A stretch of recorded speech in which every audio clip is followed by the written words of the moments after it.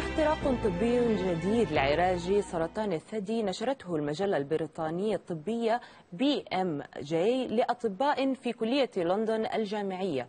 أثبتوا فعالية علاج لا يتطلب سوى جرعة واحدة من العلاج الإشعاعي. حول العلاج الإشعاعي المستهدف أثناء الجراحة وفعاليته في علاج سرطان الثدي نستضيف معنا دكتور خالد ثابت الاستشاري في الأمراض السرطانية والأورام الذي ينضم إلينا مباشرة من غزة. صباح النور دكتور. صباح النور. يعني دكتور بداية أخبرنا أكثر عن هذا التطور العلمي. هل يمكن أن يكون قريبا في متناول مقدمي الرعاية الصحية في العالم؟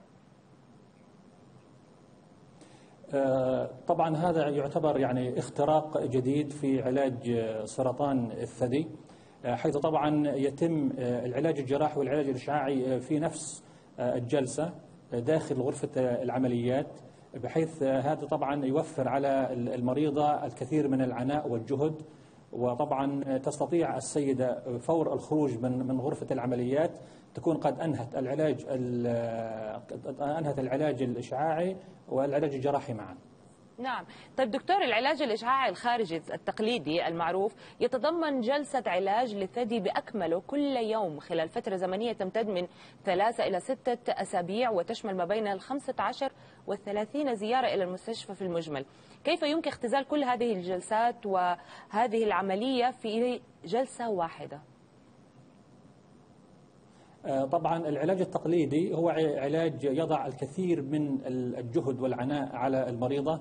حيث تتلقى يعني تقريبا من 30 ل 35 جلسة.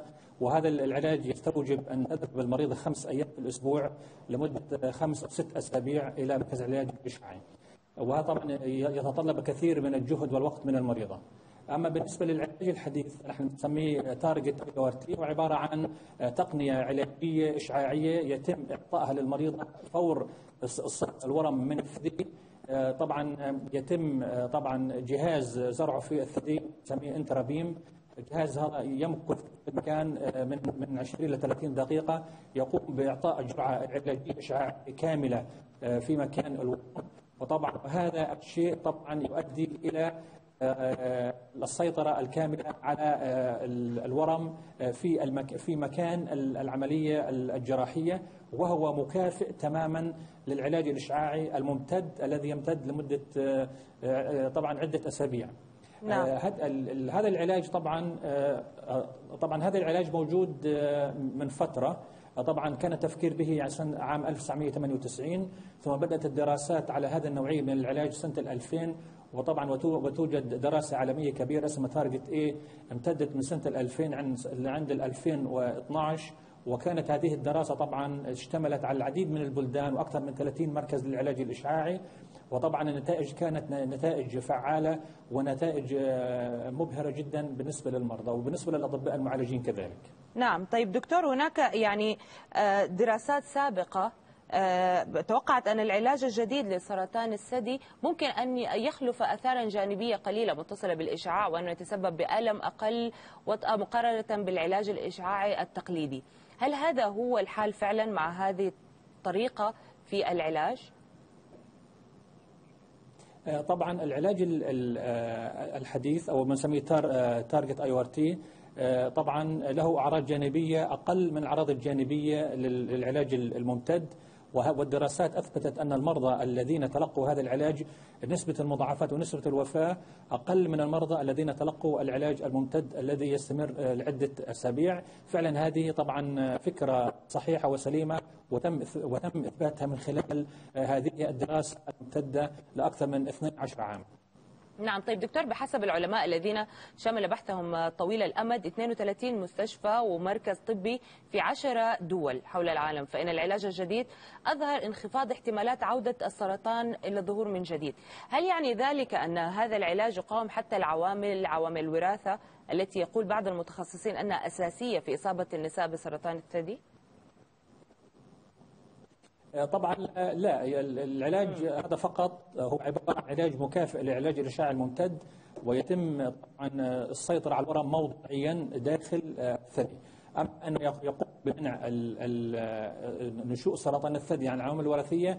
فهذا طبعا لا ليس له علاقة بهذا الموضوع بتاتا. القصد من العلاج هو توفير الجهد والوقت على المريضة. وهذا العلاج الآن أصبح فعال جدا في زمن الكوفيد 19 حيث, حيث أن المريضة تأتي للعملية الجراحية. والعلاج الإشعاعي في نفس الوقت مما طبعا يوفر عليها عناء السفر آه، لعدة أسابيع آه، ذهابا وإيابا إلى مركز الذي تتلقى فيه العلاج الإشعاعي نعم وربما أيضا يساعدها في عدم التعرض لاحتمالية إصابتها بكوفيد الذي يضاعف يعني من المخاطر في الوقت طيب هذا العلاج يستهدف السرطان من درجات أو أنواع معينة دون الأخرى؟ طبعا هذا العلاج للسرطانات في المراحل الأولية الذي طبعا يتم إيصال الكتلة فقط من من الثدي وتعقيم بؤرة الكتلة عن طريق طبعا العلاج الإشعاعي هو طبعا مخصص للسرطانات في المراحل الأولية. نعم. طيب دكتور هذا هذا البروتوكول العلاجي كما تفضلت وذكرت هو قديم ليس حديث تماما.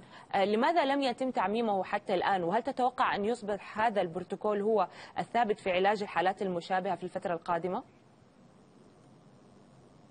آه، طبعا كما أسلفنا سابقا آه، كانت الفكرة من سنة 2000 بدأت الدراسة TARGIT سنة 2000 امتدت ل 12 عاما 2012 ثم بعد ذلك فترة متابعة طبعا صدرت آه، تقارير بنسميها updates عن هذه الدراسة سنة 2016 ثم طبعا بدأت المراكز آه، تستعمل هذه التقنية بالتتابع الآن طبعا العلاج يعني سوف خلال السنوات القادمة سوف يكون في متناول معظم المراكز التي تعني بعلاج سرطان الثدي بالإشعاع. نعم دكتور خالد ثابت الاستشاري في الأمراض السرطانية والأورام شكرا جزيلا لك كنت معنا مباشرة من غزة. شكرا لك. شكرا.